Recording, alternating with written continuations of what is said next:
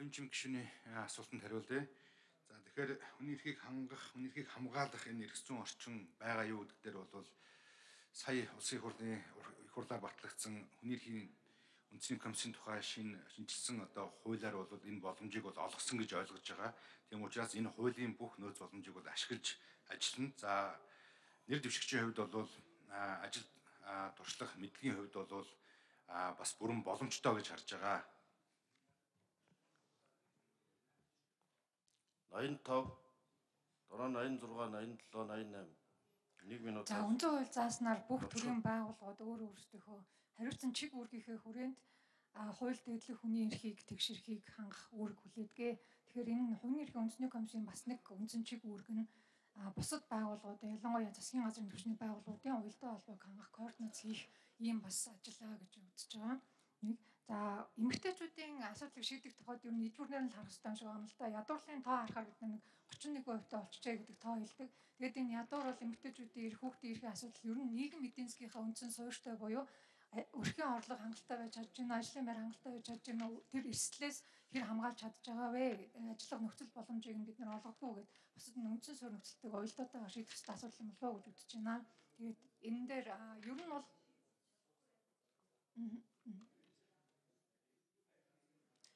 За 86. Яваад ш. Товч тодорхой хариулъя. За хүний эрх хүнсэн комиссийн ажиллах одоо зүйн орчин бол сайжирсан учраас бол бид нар энэ төр иргэний нийгмийн байгууллагуудтайгаа хамтраад ажиллахад бол хүний эрхийн нөхцөл байдал одоо сайжирна гэж бол бас үзэж байна. За хоёрдугаарт нь энэ гендрийн тэгш эрхийн асуудал. Тэгээд дэлхийн эдийн засгийн форумаас жил тутам энэ гендрийн эрх тэгш байдлын асуудлаар бол улс орнуудыг бол байр эзлүүлдэг байгаа. А Монгол улс бол нэг 56 дуулж ихсаад байгаа. Монгол улсыг хамгийн одоо доошо татж байгаа үзүүлэлт бол энэ улс төр шийдвэр гаргах түвшинд эмэгтэйчүүдийн оролцоо байгаа. Тэгээ энэ гендрийн эрх тэгш байдлыг хангах тухай хуулиар бол комисс бол 2 жил тутам энэ хуулийн хэрэгжилтийг одоо тайлагнах улсын хурлд бол тайлагнах юм үүрэгтэй байгаа. А мөн одоо энэ генерийн асуудлаар бол өргөл гомдол хүлээж авч шийдвэрлэдэг байгаа.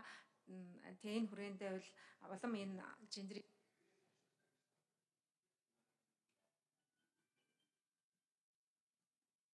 За Монгол улсын хүний эрхийг хамгаалах энэ үндэсний тогтолцоог бүрдүүлж байгаа байгууллага бие даасан хууль эрх зүйн орчин олон улсын эрх зүйн одоо хэм хэмжээ бол хангалттай бүрдсэн гэж үзэж байгаа.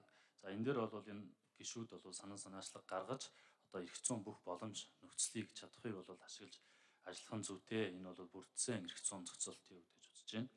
За хоёрдугаар эмэгтэйчүүд болвол нийгмийн оролцоотой холбоотойгоор банкын анхаарлын төвд бол байж ирсэн. За цар тахалтай холбоотойгоор мөн бас энэ эрх нь бол хязгаарлагдж байгаатай бол санал нэг байна. Тийм учраас энэ эмэгтэйчүүдийн эрхийг хамгаалах энэ дээр дэмжлэг үзүүлэх чиглэлээр бол илүү наривчлсан хууль эрх зүйн орцсон орчин олон улсын гэрээ конвенцуудыг дийн одоо заалтад нийлүүлэн боловсруулах одоо бас боломжтой юм а гэж ингэж үзэж байгаа. Өөрөөр хэлбэл эдгээр нь энэ тусгаалсан одоо илүү анхаарлын төвд байх ёстой субъекттэй гэж ингэж үзэж байгаа.